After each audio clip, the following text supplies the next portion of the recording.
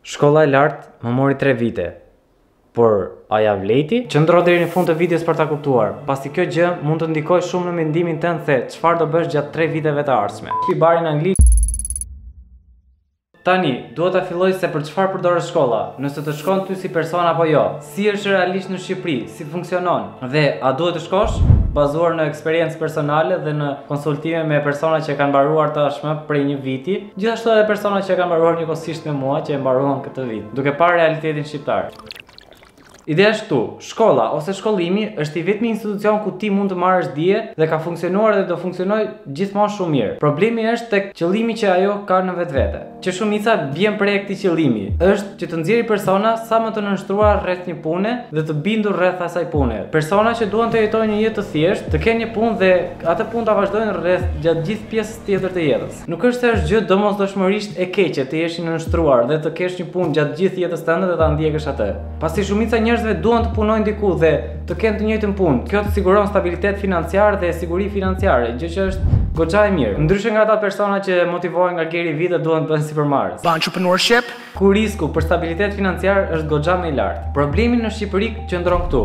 Këtë, madje këtë mund ta bëj dhe investigim dhe nëntëdhjetë për qind e studentëve është E sigurt që do kthejnë të njëjtën përgjigje. Shumica e maturantëve nuk e kanë një ide në botë se çfarë shkolle duhet të zgjedhin. Kjo është arsyeja dhe pse klikove këtë video. Mos u shqetëso.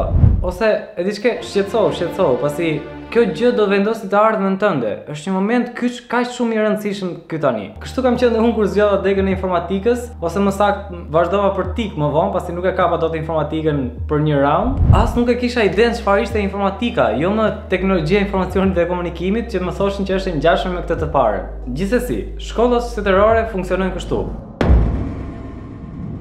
Pasi ti zgjedh një nga ato 10 degë që të thanë mami, babi, halla, daja ose xhaja që të zgjidhje, ti shkon në shkollë plot entuziazëm. Shkon i lumtur me perspektivë për të ardhmen, sidomos për të ardhmen në Shqipëri, kur shef se bashkëmoshatarët e tu ikin dhe ti vazhdon shkollën e lartë plot krenari, me aq shumë energji sa një sportist i rangut botëror, shkon atje dhe sa kalon java e parë, demoralizohesh. E, Sheh që mësuesit nuk vijnë që javën e parë, por edhe në qoftë se vijnë, bëjnë një shpjegim të vakët ose prezantimin, pastaj ditët kalojnë dhe ti e vëren akoma dhe më shumë që metodologjitë që ata shpjegojnë janë aq primitive dhe që nuk funksionojnë më në ditët e sotme. Sheh profesora ose profesoresha që kanë vite aty që dinë gjithçka për atë lëndë, por nuk dinë asgjë se si përcillet ajo lëndë te studenti. As atyre vetë nuk ja kanë mësuar. Këtu lind kontradikti i parë që ata kanë dhe kjo sjell demoralizimin tënd që nuk arrin ta kuptosh asnjë gjë që ata thonë. Edhe në qofë se arrin të kuptosh, arrin të kuptosh sepse ke lexuar librin, jo se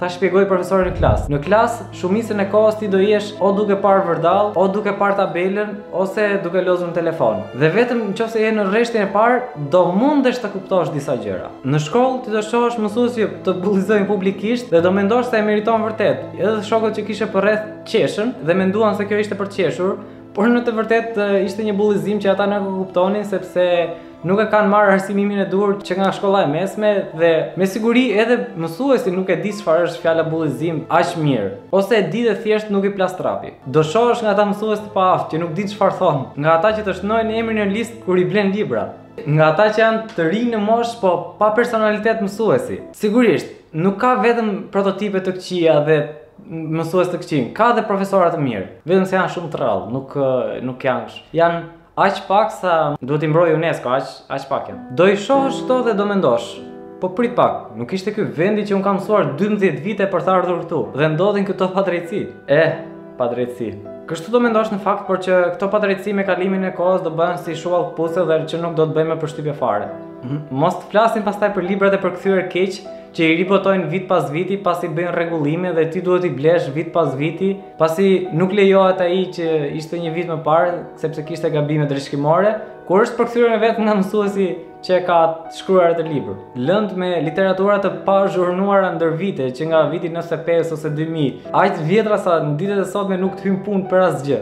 Do shohësh, po këtë do e shohësh në vit të tretë, nuk do e shohësh, nuk do e kuptosh në fillim. Ka lëndë ose shumica e lëndëve janë plotësuese sepse nuk ka literaturë për ta shtuar dhe për të mësuar ty. Janë aty kot mo vëlla, e kupton? Ja thjesht lëndë shtesë që të plotësojnë uh, orarin. Dhe ti mund të ngelesh në ato lëndë për vite me radhë dhe mund të shtyesh dhe shkollën. Ky është arsimi në Shqipëri. Këto janë shkollat shtetërore shqiptare. Po si ia bëjnë nxënësit do thoni ju, që dalin të aftë pastaj për punë. Nuk dalin. Ose dalin duke mësuar vetë. Falë këtyre indianëve në lëndën e informatikës, mund të kenë kaluar nëntëdhjetë e pesë për qind e studentëve të informatikës, të TIK-ut ose dhe të matematikës. Për shembull, nuk ka asnjë nxënës që nuk e njeh këtë indianin.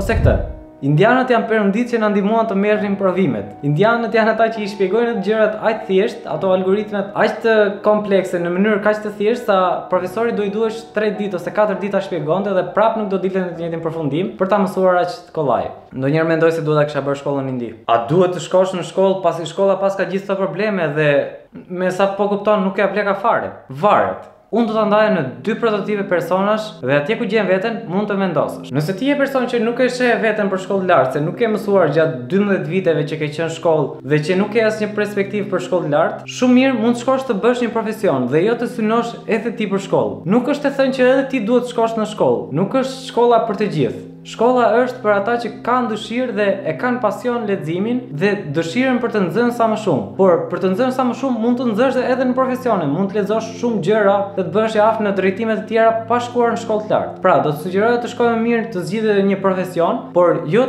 profesione nga këto që japin këto shkollat private kështu një vjeçare që E keni parasysh ju kush janë këto shkollat. Po të kërkoni për shembull reklama e parë që do të dalë në Instagram janë këto shkollat. Prototipi i dytë është ai që është përpjekur gjatë gjithë këtyre viteve. Por edhe ky e ka të vështirë, pasi nuk di se çfarë të shkojë. Ama duhet të shkojë. Duhet të shkojë për faktin e atyre tre viteve që do kalojë. Jo për faktin për gjërat që do mësojë tre vite nga ajo shkollë, por për arsyen e ndarjes së eksperiencave me shumë persona të tjerë që kanë synim të shkollohen dhe kanë dëshirë që të nxënë dhe të mësojnë. Aty do keni të bëni me njerëz të ndryshëm, do ndani eksperienca që janë super vendimtare për të ardhmen tuaj. Ndoshta do zgjedhësh degën e gabuar. Ka shumë shans, pesëdhjetë për qind e mundësive është që do e zgjedhësh degën e gabuar. Jo ndoshta, por do i zgjedhësh persona që do rrish në fillim që nuk kanë lidhje të bëjnë me ty, por do e kuptosh pasi do e provosh përsëri të gjesh shoqëri të ndryshme e përsëri shoqëri të ndryshme derisa të përshtatesh në një shoqëri e derisa ta gjesh veten. Kjo është arsyeja pse ia vlen shkolla e lartë për të shkuar. Ti do gjesh shoqërinë që do gjesh veten. Dhe në qoftë se gjen veten,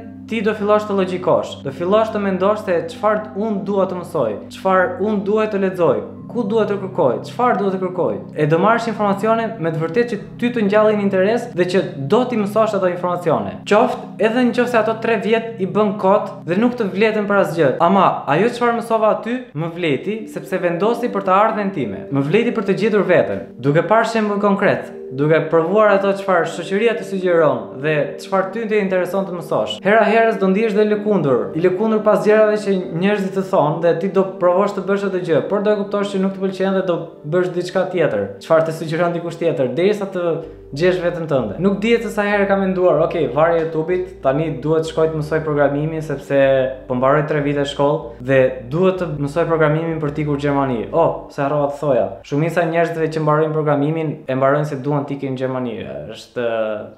Është e vdekur ky muhabet, domethënë, sepse është logjike, paguhesh më mirë dhe jetesa është më e mirë. Normalisht që zgjedhin programimin për të ikur në Gjermani. Pse mos të ikin në Gjermani, domethënë? Madje kur e mendon, shumica e njerëzve që shkojnë në shkollë lart e bëjnë që të dalin sa më shpejt me një profesion, të mësojnë gjuhën gjermane dhe të ikin në Gjermani. Mund të pyesni këdo, a do të shkojnë në Gjermani ose jo dhe e vërtetoni shumë thjesht. Nuk mund t'i hyj temës pse duan të largohen gjithë shqiptarët, sepse do më duheshin mbi 30 minuta ta shpjegoja, por që ka shumë arsye që ndikojnë përveç pagës së mirë dhe jetesës së mirë, pse njerëzit duhet të ikin. E gjithë ideja është që nëse nënshtrohesh, të paktën të nënshtrohesh ose nënshtrohesh po e kthejmë në punë, pasi realisht ajo është, të punosh të paktën për një rrogë më të mirë, dhe jo për një rrogë 300.000 lekë, kur mund ta kesh 3 milion lekë ose 3000 euro jashtë me të njëjtën punë që do bësh. Ndërsa për ju që do ikni në shtëpi bari në Angli, nuk kam çfarë t'ju them, Ishalla po ju shkoftë mbarë, por meqenëse keni kohë, atë kallon, domethënë e di që ato librat e bëjnë shumë të mirë filtrin, por që lexojeni një herë para se ta bësh filtër, se ndoshta mëson ndonjë gjë aty dhe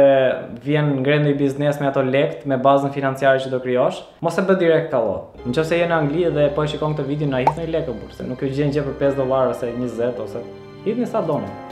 Shkolla vlen dhe për ju që doni të bëheni sipërmarrës. Po jo se keni parë Gary V-në, por se do zbuloni se me të vërtetë jeni për atë punë. Shkolla e lartë dhe koha që do merrni atje do ju ndihmojë të kuptoni nëse e doni me të vërtetë atë punë si sipërmarrës apo thjesht jeni influencuar nga dikush në Instagram aty siç Thashë që ishte Gary V Dhe ndiheni se duhet ta bëni dhe ju atë hustle hustle Hustle my friend Për të bërë sa më shumë lek Kur në të vërtetë edhe sipërmarrësit punojnë për dikë tjetër Se nuk bëhen lek pa punuar mo S'e kuptoni fare duhet të punosh që të bësh lek mo Harrojeni që të bëni lek pa punuar Nëse do të mbijetosh dhe të kesh një të ardhme Okej, okej, se u bëra shumë serioz tani Duhet të punoni për të pasur një të ardhme Kjo është me pak fjalë e ardhmja që ju pret Shpresoj të kem qartësuar sadopak mendin tuaj të lëkundur që ndikohet nga shkolla që ju sugjeron halla, tezja dhe daja, bashkë me xhajën. Më thoni dilemat tuaja që keni për të vajtur në shkollë të lartë aty poshtë në komente, pasi këto tre vite eksperiencë duhet t'i fus paktën në punë për t'ju ndihmuar juve, që doni të shkoni. Plus do bëj dhe një video tjetër ku do jem duke u kthyer juve përgjigje